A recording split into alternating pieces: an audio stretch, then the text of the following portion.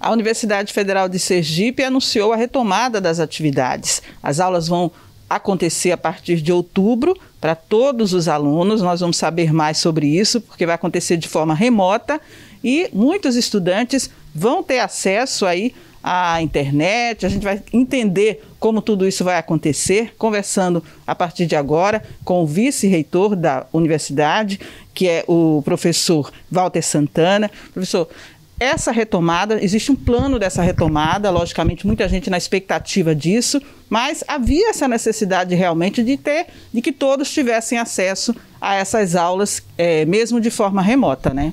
Sem dúvida. A universidade, desde que a pandemia se instalou aqui no nosso estado, ela vem trabalhando com foco inicial na segurança da nossa comunidade universitária.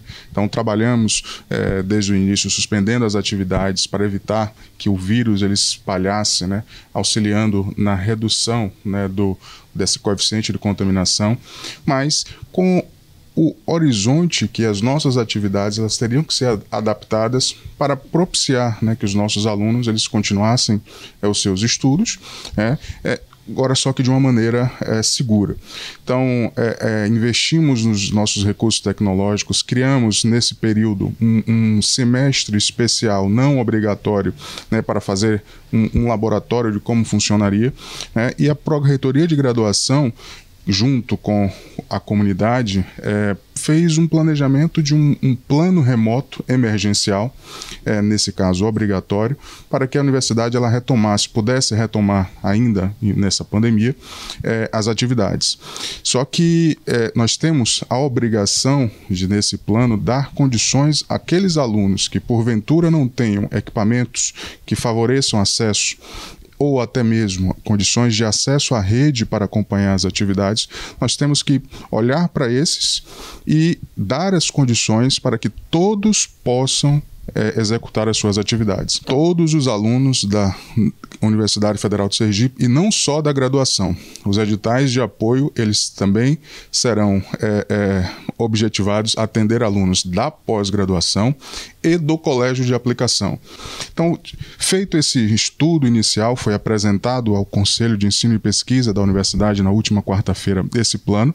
Os conselheiros se debruçaram, né, uma reunião que iniciou né, à tarde, fomos até à noite com uma discussão é, muito rica e o Conselho aprovou esse plano, que nós já estamos trabalhando nesse plano com a organização desse calendário para iniciarmos as nossas atividades a partir de outubro.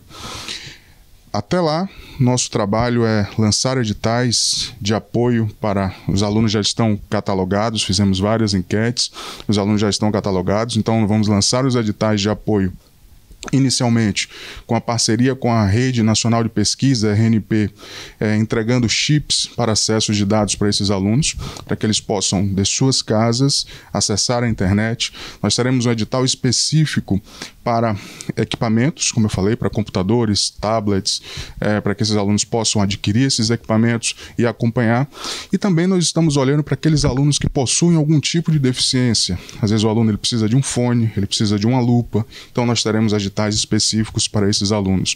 é importante que toda a comunidade esteja ciente, que os alunos possam acompanhar através do site da universidade, o www.ufes.br, o lançamento desses editais para que nenhum aluno que necessite desse apoio ele fique de fora. O critério básico é vulnerabilidade econômica, é aquele aluno que ele não tenha o recurso e necessite do equipamento ou necessite da internet. Então o aluno ele vai declarar vulnerável, é, comprovar né, a sua vulnerabilidade, que é um processo que todos os alunos aqui já passam através do preenchimento do cadastro único social. É, então, anexando os documentos, será avaliado, comprovada a vulnerabilidade e a necessidade do equipamento, os alunos eles terão é, acesso ao auxílio.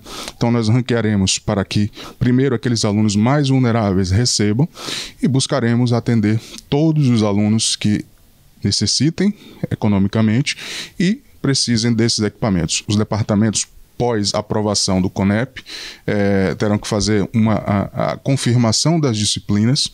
Tá? Então, eles estão trabalhando nesses prazos. É, não poderíamos fechar um cronograma antes da reunião do CONEP. Então, após a reunião que aconteceu na quarta-feira, a Proreitoria está debruçada nesse ponto e as aulas efetivamente deverão começar ainda na primeira quinzena de outubro. Tá? Não temos é, é, a data, a Prograde vai liberar nos próximos dias o cronograma. A gente espera aí que tenha realmente êxito nisso, né? A gente sabe que o prejuízo foi para todos em relação a esse ano, um ano muito difícil para todos, na educação muito mais. E a gente espera que tenha êxito, né? Essa retomada.